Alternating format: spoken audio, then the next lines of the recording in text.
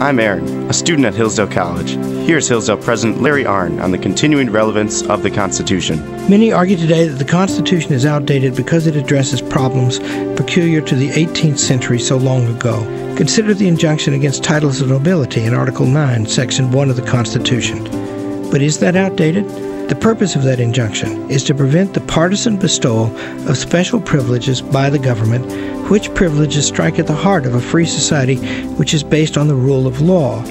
Look at crony capitalism today, so common, whereby the government bestows favors and tax dollars on some businesses and it gives them a leg up over others. This is a striking example of what the Constitution was meant to prohibit and a striking illustration of why the Constitution is not outdated at all. This Constitution Minute was brought to you by Hillsdale College. To join the national conversation on the Constitution, go to constitutionminute.com.